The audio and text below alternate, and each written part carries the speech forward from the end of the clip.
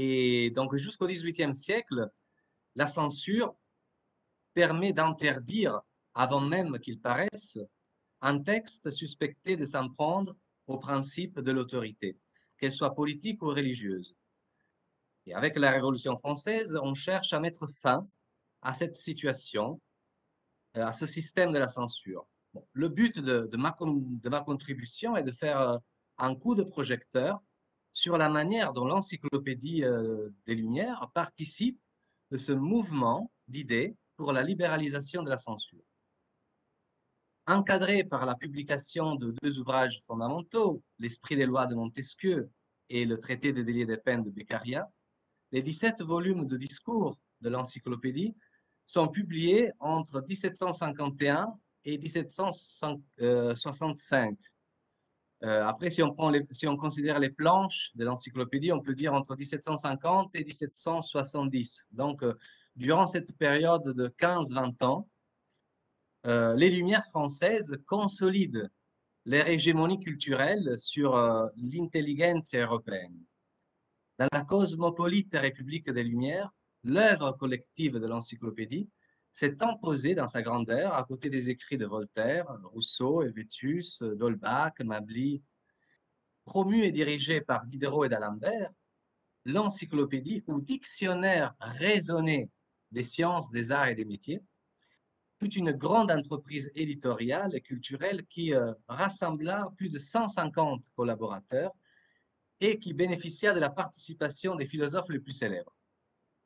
SLR international cette somme de connaissances théoriques et pratiques a été l'une des œuvres les plus emblématiques de l'âge des Lumières, animée par l'ambitieux projet de changer la façon commune de penser.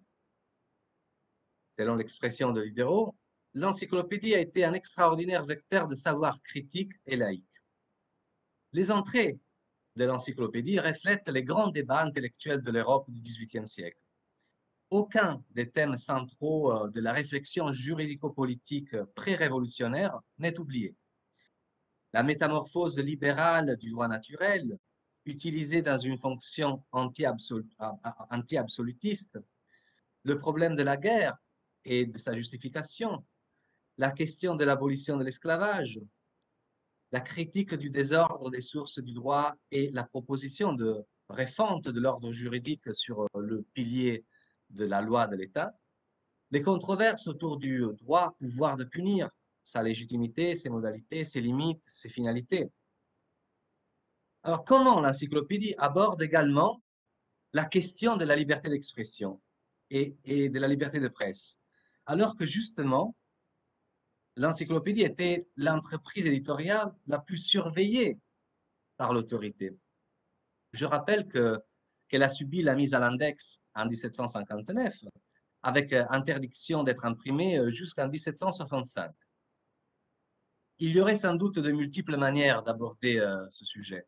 J'ai choisi, de, vous proposer une lecture juridico-politique à travers l'examen des entrées lèse-majesté, crime 2 et libelle, sachant que libelle, au XVIIIe siècle, signifiait des livres séditieux, des livres scandaleux, des livres euh, impies, euh, donc des opuscules qui attaquaient euh, l'État ou la religion.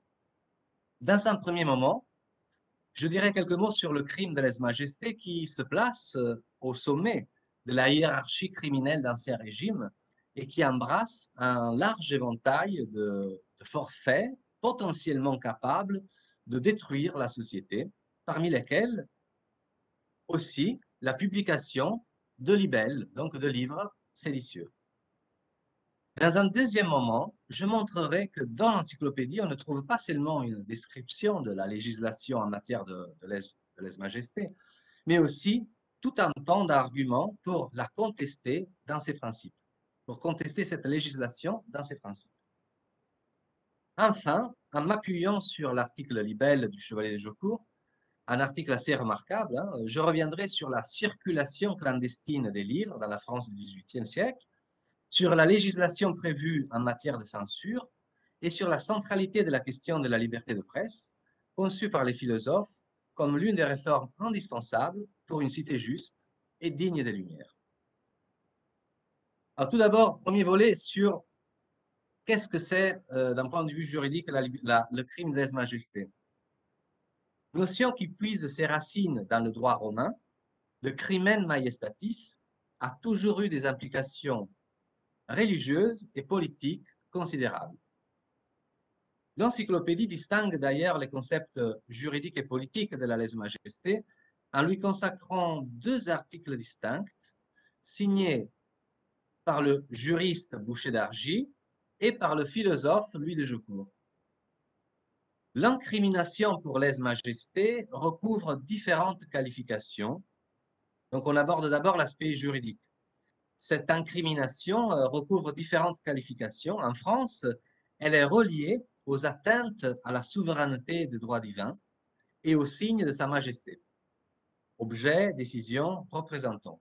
Autrement dit, le crime de lèse-majesté s'étend à tout ce qui est censé porter préjudice à Dieu, c'est la, lèse-majesté divine, et à l'autorité royale, à l'ordre de l'État, à la personne et aux fonctions des magistrats et officiers, image vivante du roi, c'est la lèse-majesté humaine.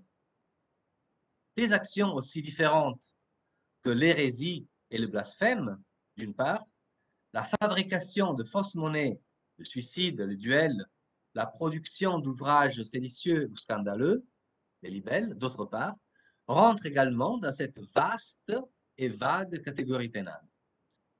L'ancien législateur ne distingue pas moins entre deux degrés différents qui rendent le crime plus ou moins grave. Le régicide et la haute trahison, par exemple, sont sanctionnés par un châtiment plus rigoureux en l'occurrence la peine de mort cruelle, hein, donc euh, un châtiment plus, plus, rigoureux que la composition des cris séditieux, un acte, ce dernier, tout de même passible de la peine capitale. C'est-à-dire que l'ancien législateur, il prévoyait une forme de peine de mort cruelle pour euh, un régicide et une forme de peine de mort, disons, moins cruelle dans, son application pour euh, d'autres crimes pour d'autres actions considérées comme rentrant dans la catégorie de la, de la lèse-majesté. En raison de la dangerosité de ce crime pour le corps social, la législation du temps fixe des lois exceptionnelles, des lois spéciales. Il est admis, par exemple, pour la preuve de ce crime, le témoignage de toutes sortes de personnes, même ceux qui seraient ennemis déclarés de l'accusé. De plus, tous ceux qui ont trempé dans le crime de lèse-majesté sont punis. Et même ceux qui, en ayant connaissance, ne l'ont pas révélé, sont également coupables du crime de lèse-majesté. Étant donné que, de toute façon, la peine était euh, la peine capitale, vous voyez que euh, on ne rigolait pas avec, euh, ce crime-là. Donc, pour l'ancien législateur, ce crime crime appelle une législation exceptionnelle à l'arbitraire de la procédure qui fragilise les garanties juridiques des accusés et désavoue le principe de la responsabilité individuelle de l'acte illégal, s'ajoute la criminalisation de l'intention délictueuse. Le seul dessein d'attaquer quelque chose contre l'État ou contre le prince est puni de mort lorsqu'il y en a preuve. Enfin, les châtiments particulièrement atroces, hein, allant jusqu'à prévoir l'écartèlement dans le cas du régicide, la défense de sépulture, la confiscation des biens, la damnatio memoriae, devaient être exécutés avec la plus grande publicité pour dissuader par l'exemple et manifester la toute-puissance du roi. L'encyclopédie rappelle euh, dans d'autres articles euh, les supplices infligés au régicide Jean Châtel et Ravaillac. Donc, ça, c'est au, au 16e, à la fin du XVIe siècle et au début du XVIIe siècle, mais passe sous silence l'affaire du domestique régicide Robert François Damien, incriminé pour lèse-majesté divine et royale pour avoir attenté en janvier 1757 à la vie de Louis XV. Cet attentat, qui provoqua un durcissement de la vigilance policière à l'égard des écrits soupçonnés de saper les pouvoirs étatiques et religieux, fait néanmoins l'objet d'une allusion dans l'article forfait paru quelques mois plus tard, en novembre 1757.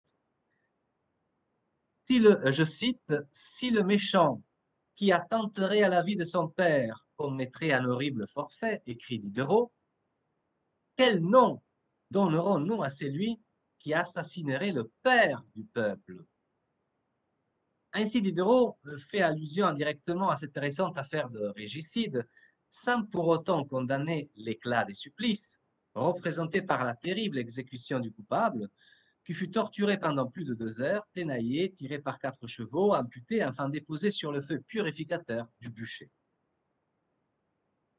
L'encyclopédie, néanmoins, ne, ne se limite pas à rappeler la norme, à renseigner ses lecteurs à propos de ce que dit la loi.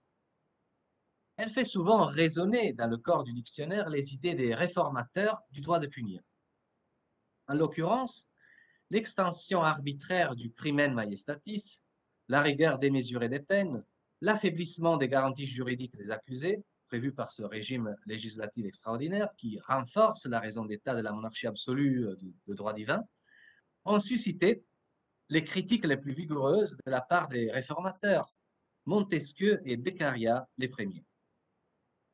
Voie royale de l'état d'exception, ce chef d'accusation pouvait être aisément utilisé par certains pour attaquer leurs adversaires politiques et parfois réussir à les faire condamner, sous prétexte que le simple fait de se plaindre revenait à contester une décision du roi et par conséquent à s'attaquer à sa majesté.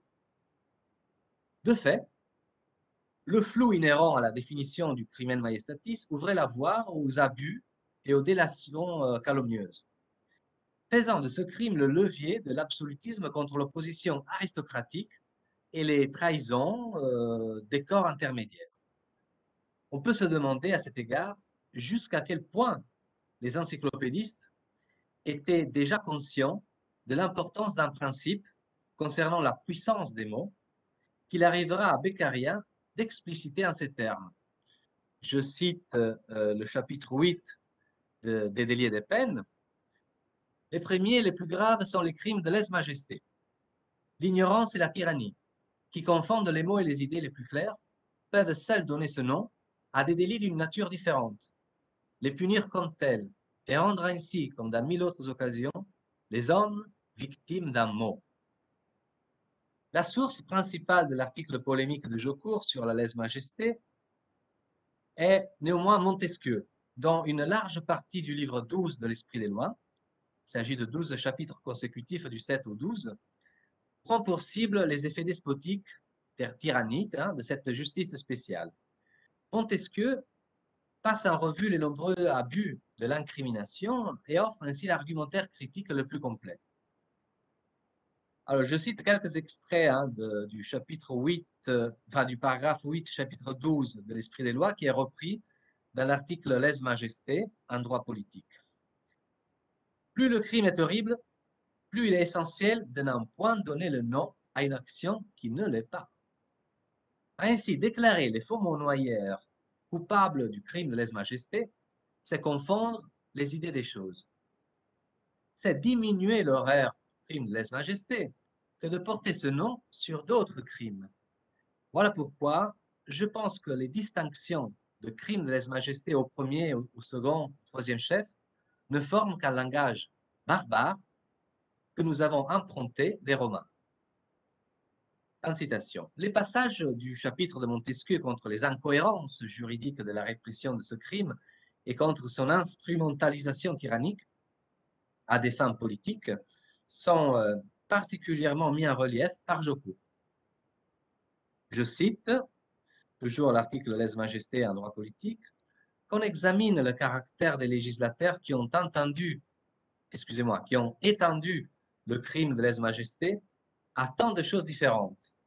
Et l'on verra que c'était des usurpateurs ou des tyrans, comme Auguste et Tibère, ou comme Gratien, Valentinien, Arcadius, Honorius, des princes chancelant sur le trône, esclaves dans leur palais, enfants dans le conseil, étrangers aux armées, et qui ne gardèrent l'Empire que parce qu'ils le donnèrent tous les jours.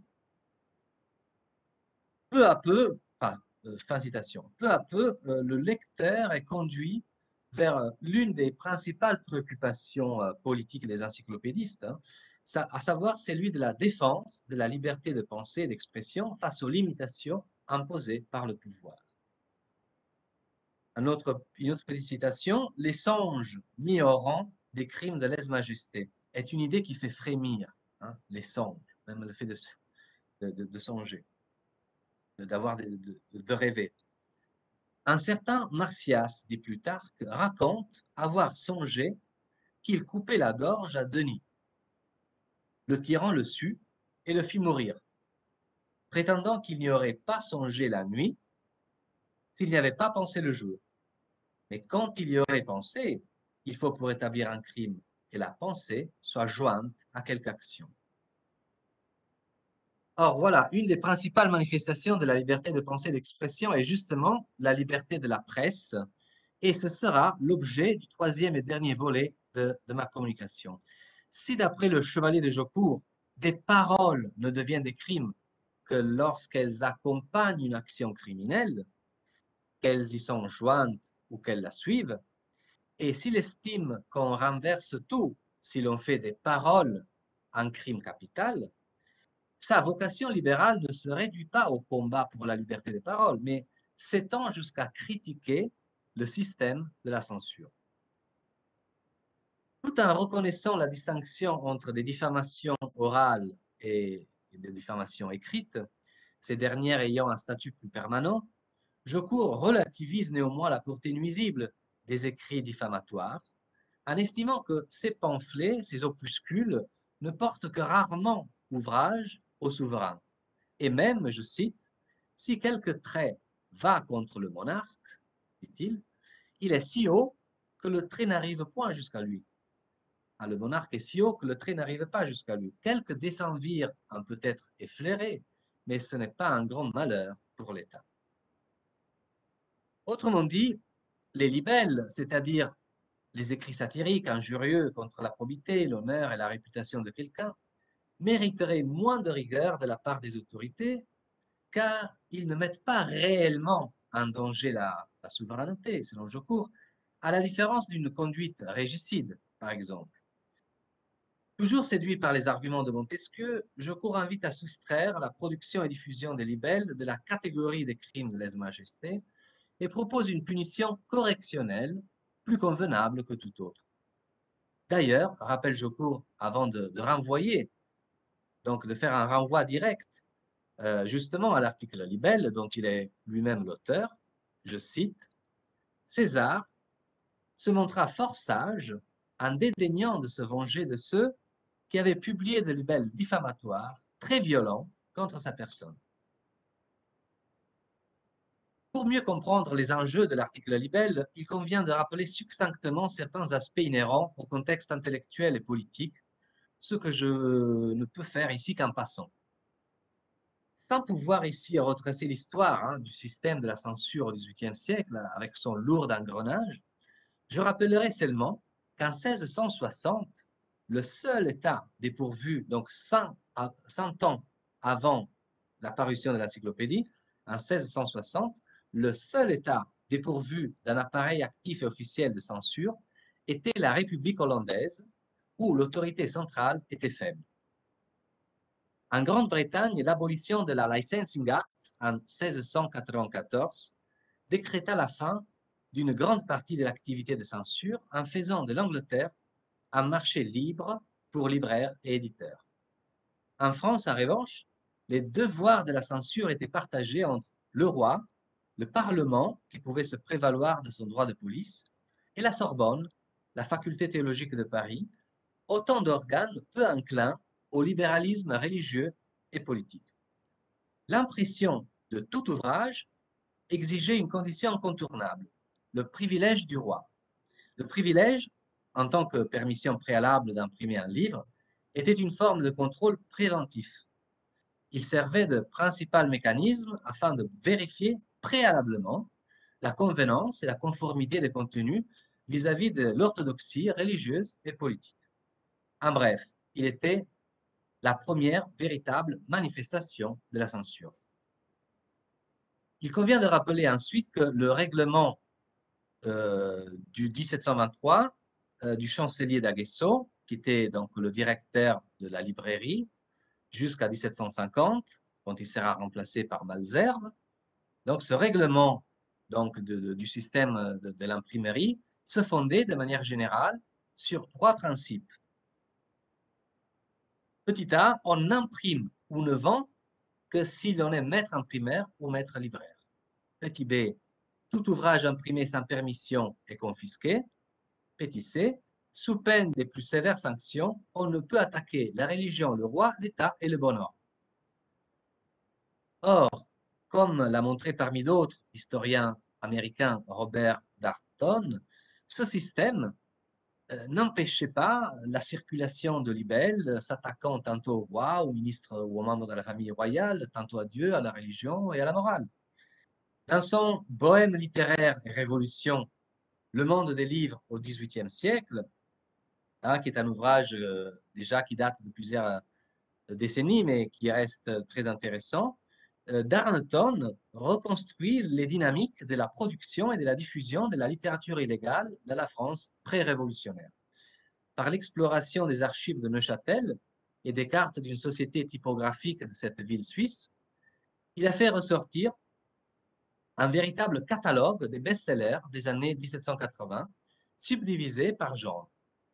On découvre des traités de satire politique, des chroniques scandaleuses, des pamphlets d'actualité, des libelles anticléricaux et pornographiques. Les titres mêmes suffisent souvent tout seuls à illustrer la typologie de l'injure et l'objet de la satire. La papesse Jeanne, le gazetier monastique, la mule du pape, requête pour la suppression des moines, et encore le christianisme dévoilé, histoire critique de Jésus-Christ, le ciel ouvert à tous les hommes, étaient autant de libelles trempées d'anticléricalisme. Le portefeuille de Madame Bourdon, Erotica Biblion, le chien après les moines, appartenait au genre pornographique. Les fastes de Louis XV, vie privée de Louis XV, l'espion dévalisé, vie privée de Monsieur le duc de Chartres, étaient des libelles politiques. Enfin, les œuvres de Lamétrie, d'Helvétius et de Dolbach, parmi d'autres, représentaient autant de traités philosophiques illégaux et censurés. Matérialiste, euh, etc. Or, il, euh, euh, ressort, l'enquête de, Darnton fait, ressortir, hein, je l'ai dit, que nonobstant la censure et la menace de peine sévère, une florissante littérature clandestine continuait d'exister. C'est donc dans ce contexte de crise du système de la censure que l'article libelle doit être examiné. Jocourt est habile à présenter son point de vue euh, qui euh, est à la fois audace et nuancé. Dans son discours, il mobilise plusieurs arguments en faveur de, la libéralisation de la censure. Par exemple, il suggère euh, qu'un roi digne de ce nom ne se vexe pas, mais il est indifférent aux calomnies, que la peine capitale est une riposte disproportionnée à l'égard de l'acte commis qui doit être regardé moins comme un crime contre l'État que comme un outrage à la morale et aux, bonnes mœurs. Mais je crois que l'argument principal euh, est, ailleurs. Il est introduit par une distinction typique du réalisme politique entre euh, la sphère politique et la sphère morale. Sur le plan moral, ces opuscules sont sans doute à blâmer, à condamner. Néanmoins, les répressions pénales est considérée une véritable erreur Je cite, Les libelles sont inconnues dans les États despotiques de l'Orient, où l'abattement d'un côté et l'ignorance de l'autre ne donnent ni le talent ni la volonté d'en faire. D'ailleurs, comme il n'y a point d'imprimerie, il n'y a point par conséquent de publication de libelles. Mais aussi, il n'y a ni liberté, ni propriété, ni art, ni science, L'état des peuples et de, ces, l'état des peuples de ces tristes contrées n'est pas au-dessus de celui des bêtes. Et leur condition est pire. En général, tout pays où il n'est pas permis de penser et d'écrire ses pensées doit nécessairement tomber dans la stupidité, la superstition et la barbarie. Autrement dit, voilà, fin de citation, autrement dit, un pouvoir éclairé et moderne ne réprime pas les libellistes, car une telle politique violente et liberticide relève davantage du despotisme oriental. Ce, dernier argument est révélateur de l'anglophilie de Jocourt, qui ne rate pas l'occasion de confronter euh, la grande liberté du gouvernement anglais en matière de liberté de parole et de presse avec l'oppressif ordre français de la censure et du privilège. Ainsi, je cours de souligner que, je cite, les Anglais abandonnent les libelles à leur destinée et les regardent comme un inconvénient d'un gouvernement libre qu'il n'est pas dans la nature des choses humaines d'éviter. Ils croient qu'il faut laisser aller, non la licence effrénée de la satire, mais la liberté des discours et des écrits, comme des gages de la liberté civile et politique d'un État. Pour ensuite ajouter, le pouvoir a de si grandes ressources pour jeter l'effroi et la servitude dans les âmes, il a tant de pentes à s'accroître injustement qu'on doit beaucoup plus craindre l'adulation qui le suit que la hardiesse de démasquer ses allures. Quand les gouverneurs d'un État ne donnent aucun sujet réel à la censure de leur conduite, ils n'ont rien à redouter de la, calomnie et du mensonge. citation. On voit ici comment Jocourt déplace habilement la focale de la sécurité vers la liberté. Ce qui compte alors n'est pas de réprimer la satire pour protéger l'État, mais de libéraliser la censure pour promouvoir les libertés individuelles.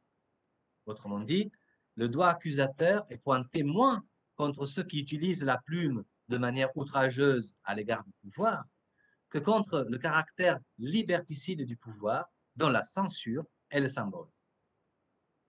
Enfin, je cours mobilise un dernier argument critique, celui de, on pourrait dire, de, l'hétérogénèse des buts.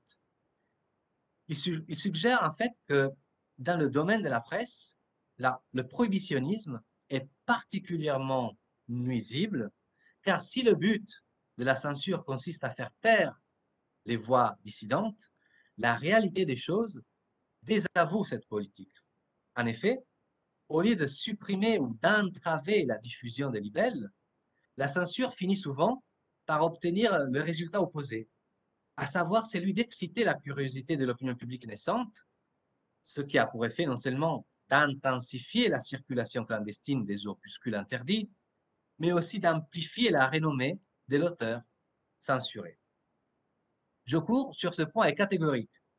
Je cite, les libelles, odieux et justement défendus, ne sont, par la punition de leurs auteurs, que plus recherchés et plus multipliés. Conformément à, la présentation générale de l'article, la conclusion de Jocourt est un petit chef-d'œuvre d'ambiguïté.